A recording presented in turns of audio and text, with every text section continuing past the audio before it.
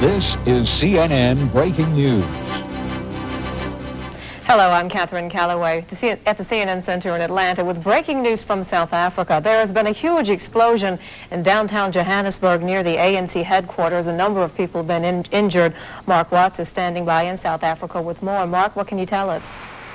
Catherine, the scene of great chaos continues in the downtown Johannesburg area.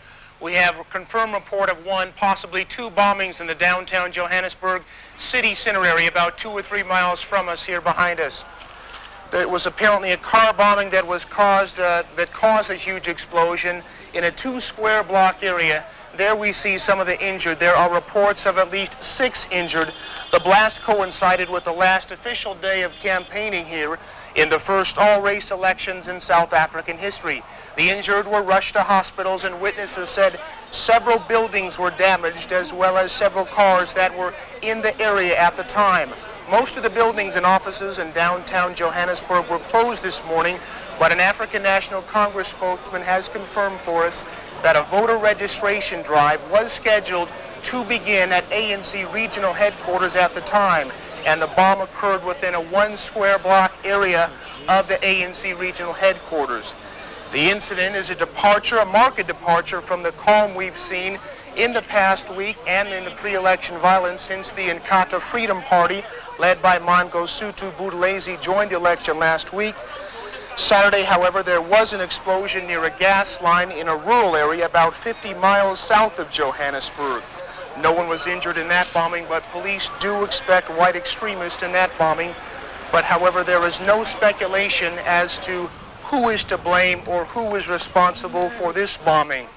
Once again, Six injured, at least six. The injury toll could get higher in one, possibly two explosions in downtown Johannesburg. We are attempting to get some eyewitness reports uh, from the scene. We do hope to get those soon, and we will update CNN viewers as that information becomes available. Once again, six people injured. The injury toll could grow higher. We do have those reports of eyewitnesses Let's listen in on what they are saying about this morning's bombing.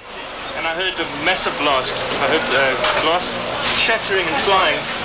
And I just knew I just had to come help. I'm a 6th-year medical student. Can you tell me... Uh, stabilized three patients. The two of them are going into shock. Do you know any more, any, how many more are injured?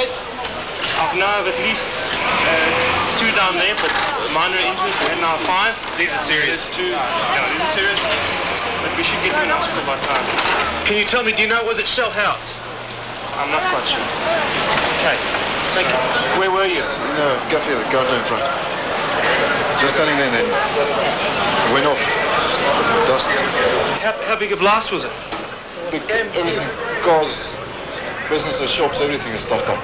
Nothing left. Guffey, where I was, everything is up. We are attempting to confirm if it was two explosions. We do know for sure that it was one and police do say it was caused by a car bombing.